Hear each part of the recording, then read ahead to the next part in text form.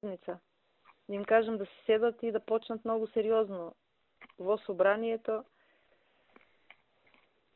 Треба сериозни координации со них за, за закон за јазик е многу сериозно, закон за знаме да не се истрчуват да кажуваат работи што не треба. Ахмети констатираше дека после 108 години албанците го имаат одбрана.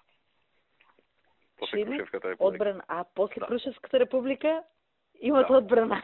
Да, прв пат после Крушевската република албанци го добиваат одбрана. И таа мојака за пијарка и неговите мојака. Да, да, да. И Бога ми големо кажано после Крушевската република добија Па одбрана. Крушевската на Албанец била доверена одбраната, Да, да. а на ВАФ финансија.